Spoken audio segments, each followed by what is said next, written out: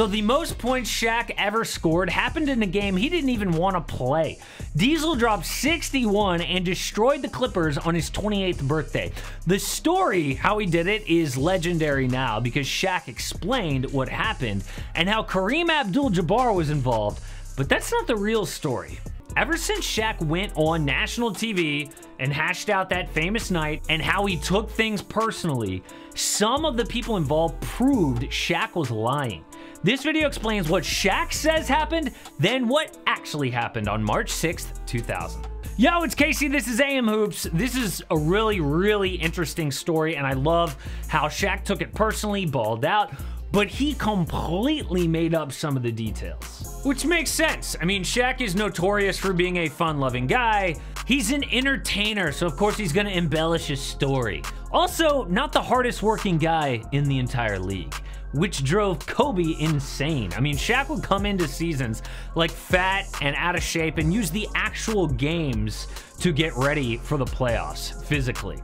So, it should surprise no one that on Shaq's 28th birthday in 2000, he planned a giant celebration for after the Lakers Clippers game. He had his suit ready, plans to go out, so he wasn't trying on the court at all. Like, in fact, he was intentionally fouling so that he could get in foul trouble and get less minutes and just sit on the bench and take it easy. He had just 10 points after the first quarter, barely even trying, when he noticed something that lit a fire. I see Kareem saying, you gotta do this, you gotta do that. now I'm pissed. you know?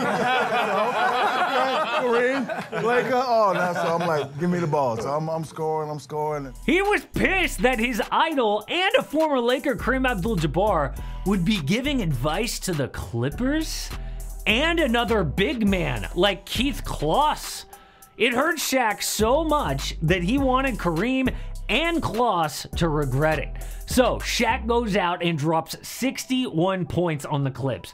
Phil Jackson didn't even let him finish out the game actually, which pissed off Shaq. He sat him with just under three minutes to go, and Shaq said it was to preserve Michael Jordan's 63 points against the Celtics. Now that makes zero sense to me, and this is kind of like what tipped me off that Shaq was embellishing things.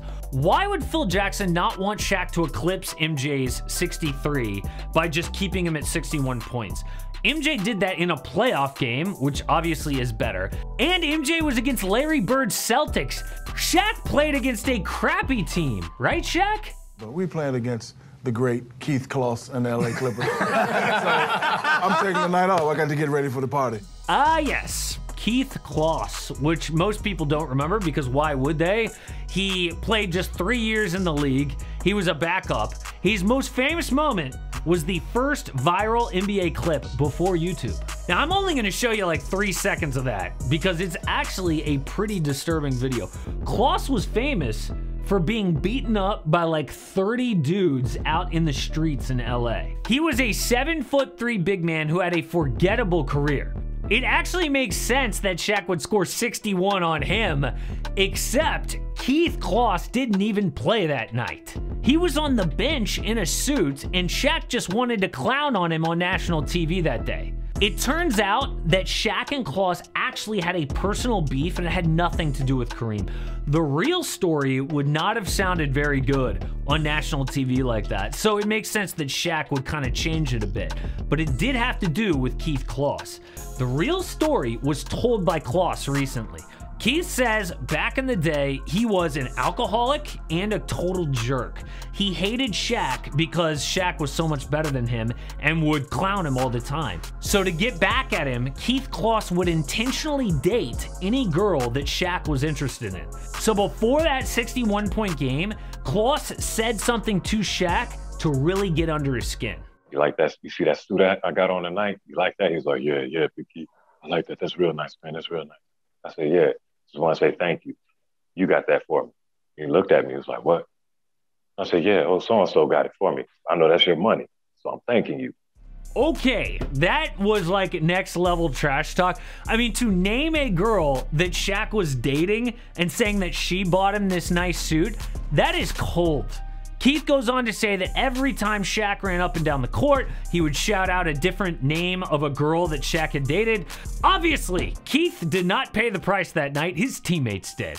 And I can understand why Shaq didn't want to tell that story on TV, but still wanted to embarrass Keith Closs. But what's really interesting is that Closs has now admitted that when he did that to Shaq and got under his skin, he was drunk before the game. He had a drinking problem even before the NBA, and getting all that money and fame made it worse. Closs was in the league for just three seasons, even though he was seven foot three and a good shot blocker. Before the draft, Jerry West and Mitch Kupchak worked him out and asked if he had a drinking problem. Closs said no, but the Lakers passed on him anyway. He ended up signing a five year, $8.5 million deal with the Clippers, which was a really good deal for an undrafted player. But three years later, he was arrested for drinking and driving three different times. That viral fight, he was drunk. The 61 point game, drunk again talking trash. And after his short career was over, he almost died. Closs contracted pancreatitis after years of drinking, and he weighed well under 200 pounds, which is super scary for someone who's 7 foot 3. That was his low point, and he finally got sober at 31 years old. Now, it really sucks to know that he threw away an NBA career and millions of dollars, but just being alive made him grateful. Until Shaq started telling that story. Because he goes on national TV and calls out Keith by name saying he dropped 61 points on him. Then Keith's phone just starts to blow up with texts, and people on Twitter are clowning on him for getting dominated. And Keith was actually trying to keep his cool at this point in his life and maintain his sobriety. So this was really bad news. But right then, another retired player, Steve Smith, saw what was going on with Keith and he stepped in to help. Steve said, Big fella, if it didn't happen, just let it go. You know how he is. You guys like to clown around, have fun. Just let it go. And uh, I thought about it. I said, Damn, he's right. So I made an amends to him on Twitter. You know, I actually made an amends on Twitter to Shaq about that. And uh, not too long after that, maybe a few months or a year later, he came clean and admitted that, you know, it wasn't me and that I didn't play that game. Yep, Keith actually went on Twitter and apologized for his behavior that night and trash talking Shaq in such a personal way. Shaq tweeted back and said it was all good. So it's pretty cool that they made up years later. I mean, it's not as cool as the story of Kareem giving a Clipper advice, so Shaq taught him a lesson, but it really had to do with some girls and a drunk center who was talking trash. And if you like old Lakers stories, check this out. What happened to Derek Fisher? Because I always thought I knew about him, the Matt Barnes fight, the whole thing, but it actually turned out to be completely different.